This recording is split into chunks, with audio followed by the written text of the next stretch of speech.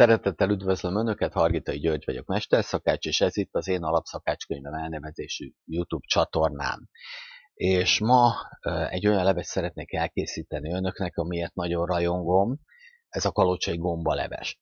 Persze kicsit unalmasnak tűnhet, hisz minden, majdnem minden levesnél azt mondom, hogy hát ez embertelen jó, ugye, és fönt van az oldalon a palócleves, a gulyásleves, a kükülői kolbászleves, a nem is tudom, ezerféle, és ezek mind-mind zseniálisabb finomak, és ne feledjük, hogy a magyar konyha leves kultúrája a világon az egyik legkifinomultabb, a leggazdagabb, és hát ezt minden nemzet megirigyelhetné tőlünk ezt a részét a konyhánknak.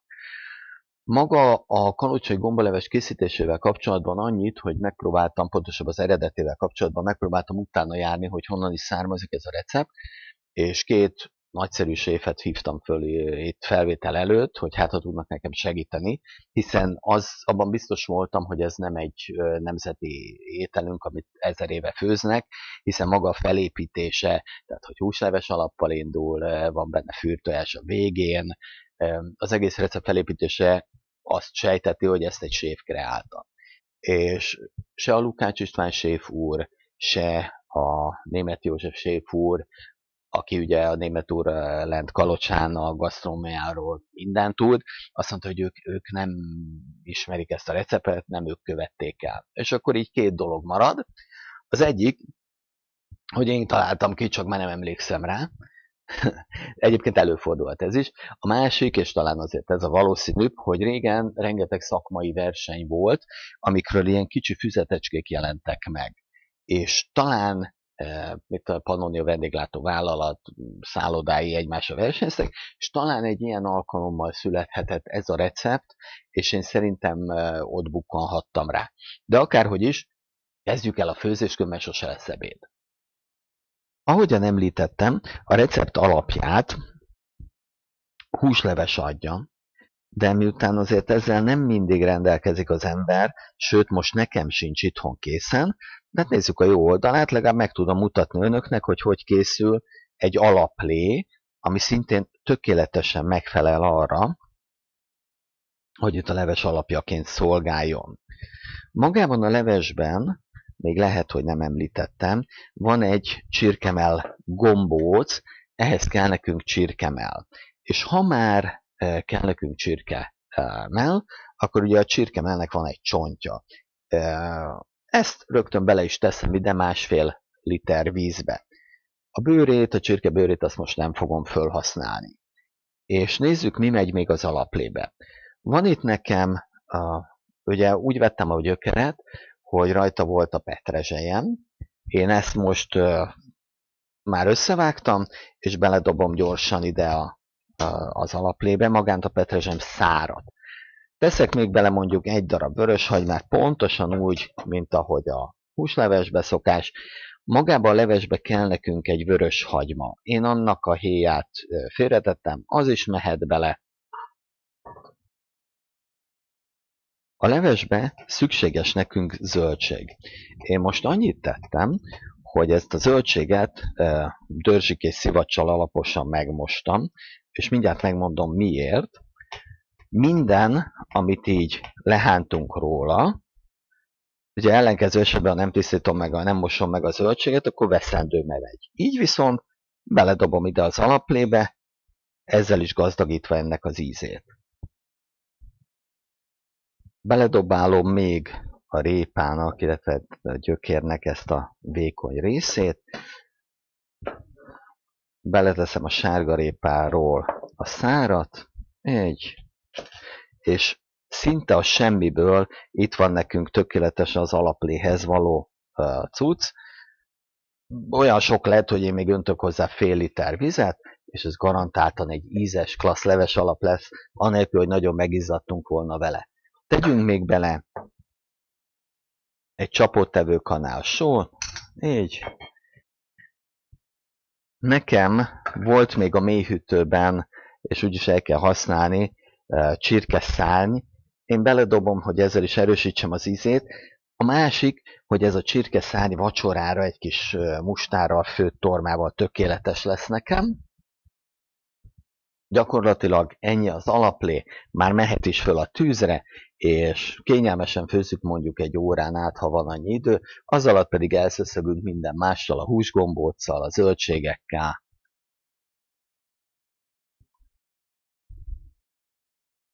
A csirkemell filét csíkokra vágom, és ledarálom, lehetőleg minél kisebb lyukú tárcsán át.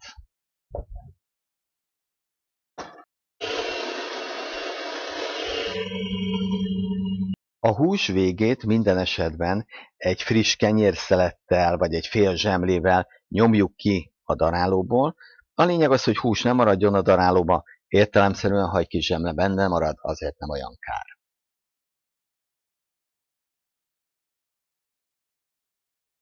Közben mutatom, az alaplé fölfort kislángra vettem, különösebben nem kell vele munkálkodni, el van magától. Az így ledarált csirkemell, ez pontosan 30 deka volt, na jó, egész pontosan ez 32 deka volt. Egy darab zsemlét hideg vízbe áztattam, természetesen lehet ezt tejbe is áztatni, hideg tejbe, de szerintem tökéletesen megfelel a víz is. Jól kinyomkodom, és mehet hozzá a csirkemelhez.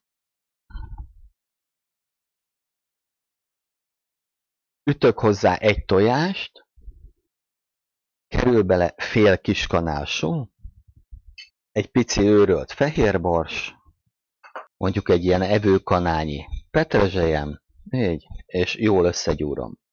Nagyjából egy 10-15 percre félreteszem, hogy egy kicsit összeállhasson a massza, ez alatt a zöldségeket előkészítem. Egy közepes fej hagymát finomra vágok.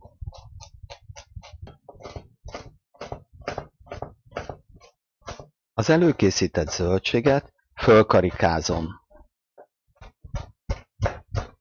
40 deka gombát vékonyan fölszeletelek, de az is jó, ha cikkekre vágom. És mint minden esetben következik egy kis alternatív ízesítés, nevezetesen a füstölt szalonna. Ez nincs benne az eredeti receptben, de úgy vélem, hogy egy 5-6 deka, hogyha ezzel indítjuk a főzést, nem tesz rosszat. Egyébként így előkészítős közben ugye morfondíroztam, egyre inkább rémlik nekem egy Szép Hazánk eh, tájai, Szép Hazánk étkei című kicsi kék eh, füzet, ami egy Pannonia szakács versenynek a receptjeit gyűjtötte egybe. Szerintem még F. Nagy Angéla szerkesztette, és én azt hiszem, hogy abból való ez a recept. Már nem hagyott nyugodni a gondolat. És most én ezt elő is kotoráznám önöknek, ha nem lennék összepakolva már egy költözéshez, de egyszer meg fogom mutatni, ugyanis az egy annyira jó könyv, hogy fogunk még belőle főzni. A húsos masszát evőkanállal 8 részre szaggattam, így a legkönnyebb, és ezeket egyenként egy nagyon picit meggömbölygetem, és a levesbe teszem, illetve a leves alapba. Fontos, ez itt egy lágy massza, ahogy lehet látni. Szándékoltan nem teszek bele semmiféle sűrítést még, tehát nem kerül bele több semlemorzsa, és nem kerül semmi, hiszen maga a csirkemell az egy száraz húsféle, így hogyha én ezt tovább keményítem ezt a masszát, akkor az nem tesz jót neki. Tehát azt szeretném, hogyha ez egy jó állagú, vágható, de mégis könnyű húsgaluska lenne. A gombócok ebben az alaplében 8-10 percig főnek, és miután elő vagyunk készítve a zöldségekkel is, használjuk ki az időt, most mosogassunk el. Eltelt nagyjából 10 perc, a kis csirkehús gombócok, csirkemell gombócok megfőttek, már tehetjük is őket egy tálba.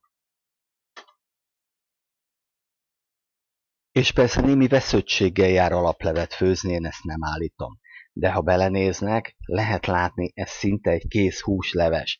Tehát vízzel főzni, vagy ezzel a szinte húslevessel főzni, ég és föld lesz a különbség a végeredményben. Ennyi előkészítés után kezdhetjük főzni a levest. A szalonnát, ami még egyszer mondom az eredetiben nincs benne, de én úgy hiszem, hogy csak jót tesz neki. Elkezdjük kiolvasztani a szalonna zsírját úgy, hogy egy evőkanál olajat hozzáadunk, ezzel egy kicsit rásegítünk. Természetesen ez olaj helyett lehet zsír is, Aki pedig nagyon ügyel a koleszterinjére, az ne használjon se szalonnát, se zsírt, hanem egyszerűen olajjal főzze. Pörcösre sült a szalonna, mehet rá a hagyma.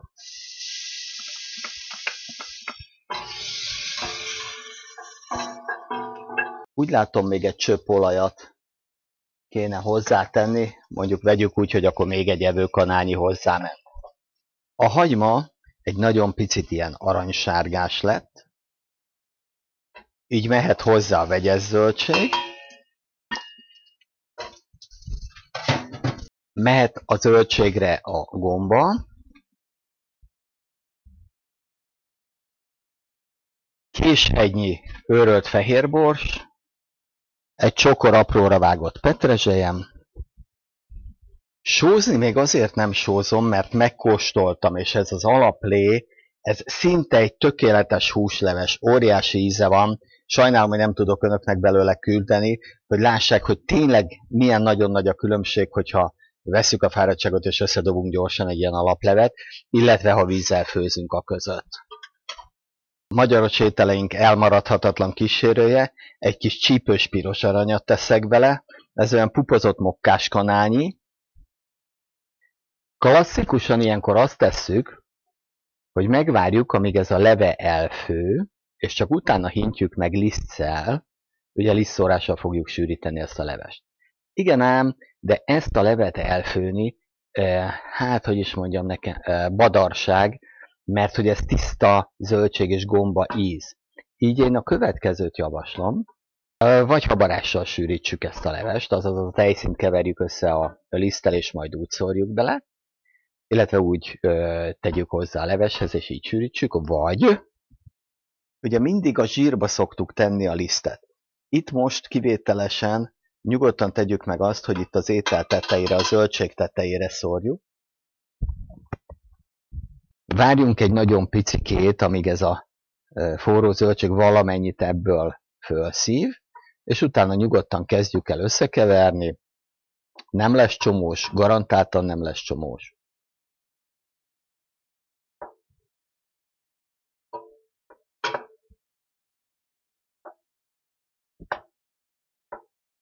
Ennyi az egész, tehát én ezt az ízes levet nem merném elfőzni.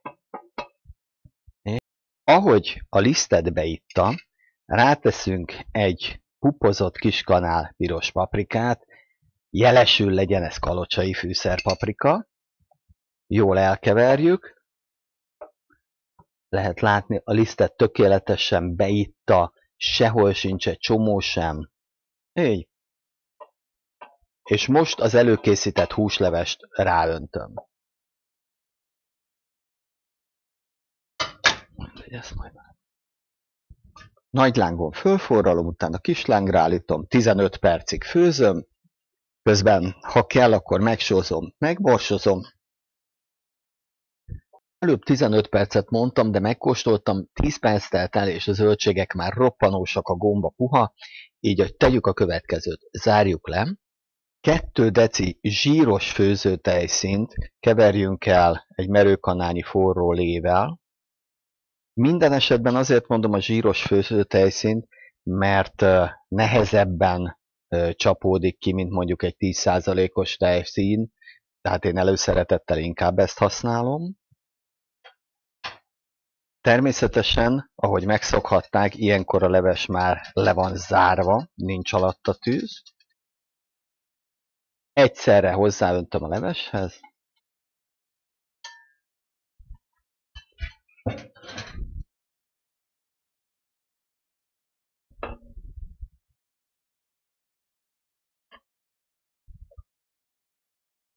Újra alákapcsolok. Újra alákapcsolok.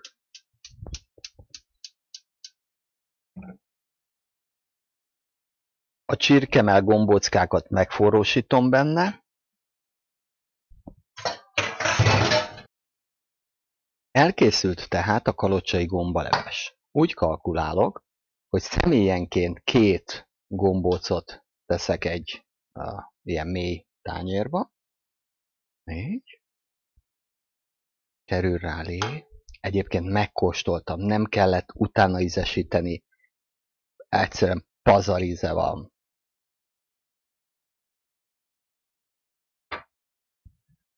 Az eredeti recept szerint egy főt fürtőest tesznek bele, itt nekem most bőséggel van, úgyhogy teszek még egyet, és ennyi a kalocsai gombaleves készítése. Bátran csak ajánlani tudom minnyájuknak, elképesztően finom. Ez a leves a világ bármely országában, bármely éttermében megállná a helyét, főleg úgy, hogy a magyar konyhát népszerűsítse. Akinek szimpatikus volt a videó, tegye meg, hogy lájkolja, aki pedig eddig nem iratkozott fel a csatornámra, az iratkozzon föl, mert minden héten új receptekkel jövök. Szép békés napot Önöknek!